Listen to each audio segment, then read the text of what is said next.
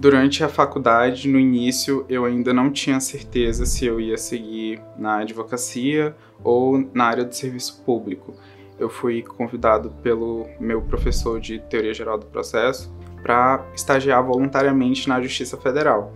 E dentro desse ambiente, cercado pelos juízes, pelos servidores, eu pude desenvolver um apreço muito grande pelo serviço público, porque eram pessoas que de fato me inspiravam e eu tinha grande admiração pelo serviço que eles executavam. Eles me recomendaram o GRAM, eu comprei a assinatura ilimitada e no concurso que eu fiz em 2019 para o CREA do Tocantins, eu consegui lograr êxito e eu fui aprovado, tomei posse.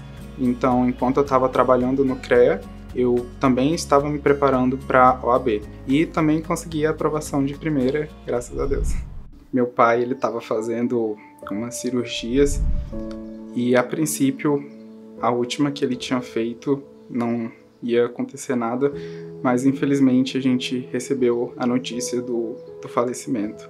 Foi uma perda muito grande.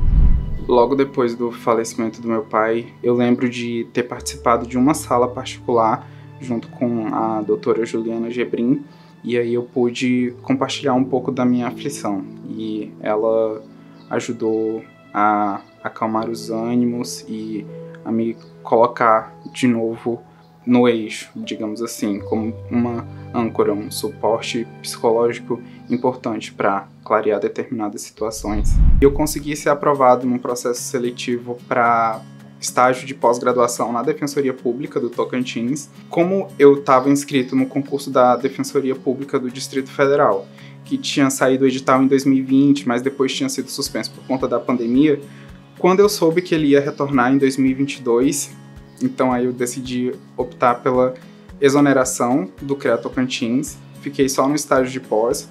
Minha mãe, a princípio, não queria que eu fizesse isso, era uma coisa que eu sabia que eu tinha que fazer em busca do meu sonho. Era o que tinha que ser feito. Até que um dia, quando a gente abriu o link e quando eu vi o meu nome lá, eu chorei. Eu liguei para minha mãe e a gente comemorou junto por telefone. Ter visto esse meu êxito deixou ela bastante orgulhosa.